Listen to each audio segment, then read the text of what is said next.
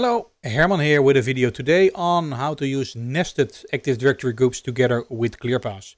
So let's start with explaining what are nested AD groups. So what we mainly do with uh, groups in Active Directory is we can uh, create a group and then we put users in there. But if you have a very large organizations like multinationals, then what can happen is that you create a group group on the global level and instead of putting in users in that group, you can put other groups. So for example, for the Americas, for APAC, and for EMEA region.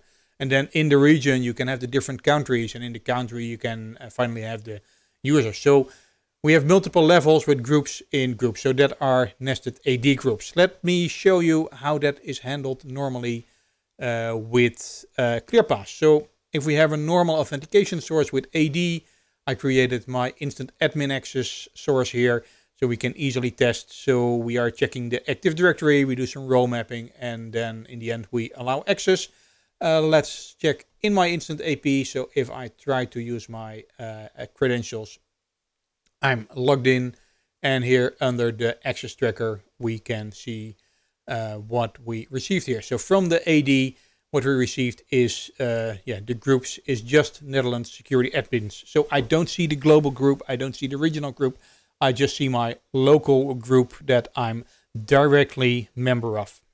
Why did this work? Um, that's because I did a small trick. So here under the role mapping, what I did, if the groups ends with security admins, so basically any group name ending with security admins, uh, then I allow access to the instant AP admin interface.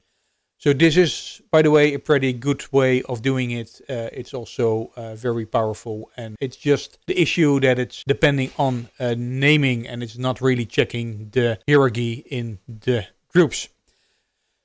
So how can we fix that? Uh, one of the solutions is the traditional way of getting nested DNs from Active Directory. So I created a copy of my AD authentication source and I added here in line number six an additional filter. And this filter is checking this specific query. And this specific query, if you point that to the AD, the AD will go out and will do a recursive uh, lookup of all the groups that the user is member of and return that as an attribute. So let's apply that.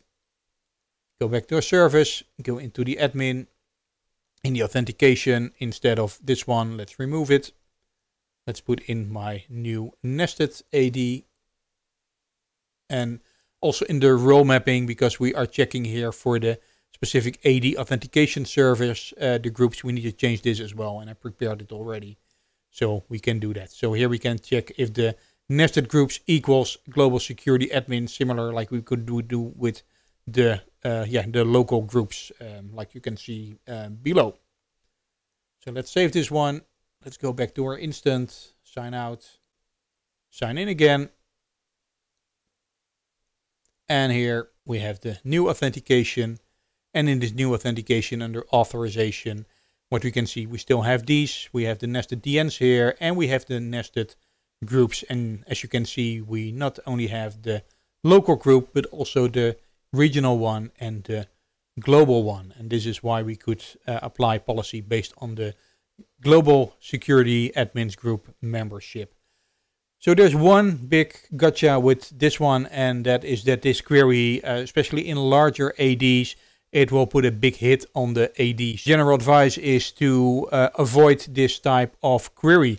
And there is another solution for that. It's called uh, token group. So if you search for ClearPass nested token group, you will get to this specific article. And in this specific article, uh, it tells you how to set this up. So basically we are uh, yeah, creating a standard uh, filter, so not the one with the numbers in it. And then we get the token groups attribute from AD, and then we can put that uh, in the ClearPass.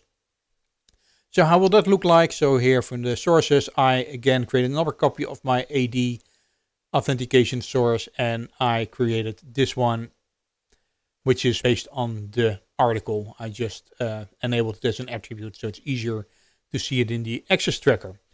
So how will this look like? Let's go back to our services, authentication, remove the one, put in the deep nested one authentication service that I just showed. And here in the role mapping, I created another one here for the deep nested again, because the names have changed of the authentication source. Now, let's have a look again. Let's sign out. Let's sign in again.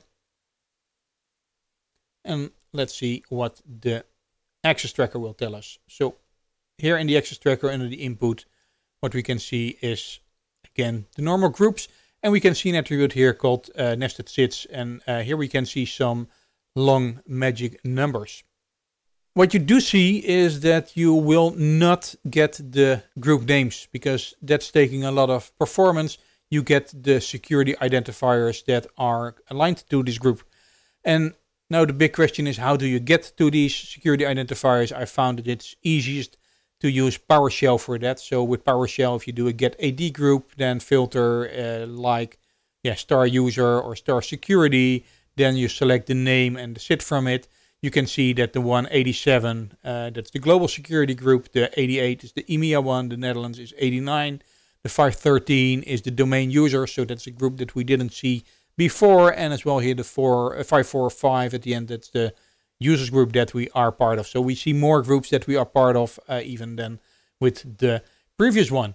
So on the other side, it's uh, yeah, it's it's less convenient because we don't see the direct group names, and we need to check here if we're part of this group identifier. Uh, so that's also what I did here in the role mapping. So in the role mapping, I'm checking if the nested uh, SIDs contains this one with the 87 and the 87 that's the global security group but you can see the role is applied and it, uh, it just works and this is uh, much more performant than the previous one where we get the complete list of all the groups that a user is member of so i hope this was useful try to use either on uh, on the partial part of the name do the mapping uh, if that's not possible then uh, use the security identifier route and only if that's not possible, you should use the recursive grab of all the group names, uh, like with the nested uh, DNs, because that's for the performance uh, standpoint of your Active Directory, it's very not advisable. So I hope this was useful at this time. Uh, if it is, please let us know by liking this video. Also put your comments below the video and don't forget to subscribe. Thank you very much for watching. My name is Herman Robers.